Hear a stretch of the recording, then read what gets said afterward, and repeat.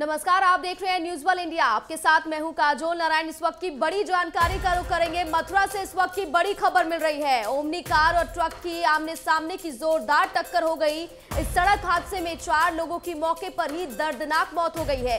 तीन लोग गंभीर रूप से घायल बताए जा रहे हैं। कार सवार बदायूं से बालाजी जा रहे थे। सूचना मिलते ही पुलिस मौके पर पहुँची। घायलों को तुरंत अस्पताल में भर्ती कराया है। मृतकों के शव को पोस्टमार्टम के लिए भेजा और ट्रैफ़िक जाम हो गया था, जिसे खुलवाया है।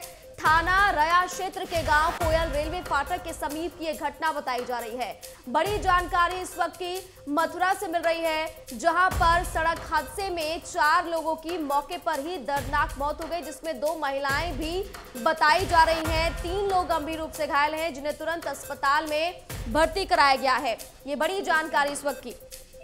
और ज़्यादा अपडेट के लिए मेरे सहयोगी सुरेश मेरे साथ फ़ोन लाइन पर जुड़ गए हैं मथुरा से। सुरेश क्या कुछ जानकारी मिल रही है इस खबर को लेकर? जी मैं आपको बता दूँ ये सुबह का आ, जो है मामला है जब मथुरा के थाना राया क्षेत्र में कोयलपुर गाँव के रेलवे फाटक के पास ये दुखद हादसा हुआ है जिसमें एक ओमनी कार सवार में कुछ लोग बदायूं के रहने वाले थे जो कि बालाजी जा रहे थे। दर्शन करने जैसे ही वो कोयलपुर गाँव के पास पहुँचे थे तभी तेज रफ्तार सामने से आ रहे ट्रक ने उनमें टक्कर मार दी जिसमें चार लोगों की मौके पर ही मौत हो गई। बिल्कुल सुरेश ये जो हादसा हुआ है इस हादसे की मुख्य वजह क्या है? जो ट्रक ने टक्कर मारी है ड्राइवर को क्या नींद आ गई थी या ट्रक अनियंत्रित हो गया था? मुख्य वजह क्या बताई जा रही है? अभी तक जिस तरह से जानकारी मिल पा रही है जो ट्रक था वो काफ़ी तेज रफ्तार से था और चूँकि वहाँ पे।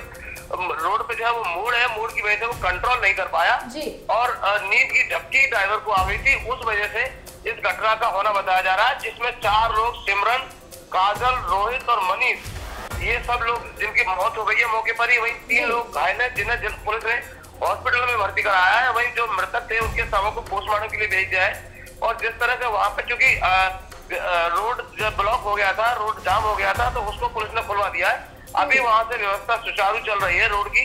लेकिन अभी तक जिस तरह से जो लोग जिसमें मौत हुई है उन लोगों के परिजन अभी यहाँ नहीं आ पाए। बिल्कुल सुरेश ये जो घायल लोग बताए जा रहे हैं इनकी स्थिति फ़िलहाल क्या है? और क्या जो ट्रक ड्राइवर था उसे हिरासत में लिया गया है?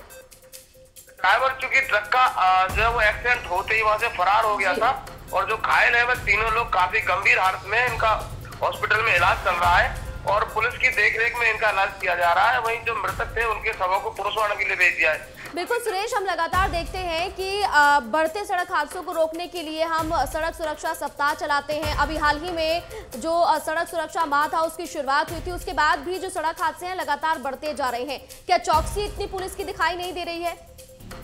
जी, चूँकि रात का मामला था और आप जानते हैं कि रात के मामले में पुलिस गश्त भले करती हो, लेकिन रात के मामले में बहुत सारे जो वाहन चालक या ड्राइवर होते हैं, वो थोड़ी तेज स्पीड चलाते हैं और तेज स्पीड चलने की वजह से ही इस तरह के हादसे जो है वो सामने आते हैं। और ये घटना भी कहीं ना कहीं तेज रफ्तार और नींद की झपकी आने के कारण ही सामने आई है, जिसमें चार लोगों की मौत हुई है, तीन लोग घायल है। और ये सभी बालाजी जा रहे थे भगवान बजरंग बली के दर्शन करने को, लेकिन उससे पहले ही मथुरा में इस तरह की ये दर्दनाक घटना हुई है, जिसमें ये चार लोग जो है मौत के गाल में समा गए।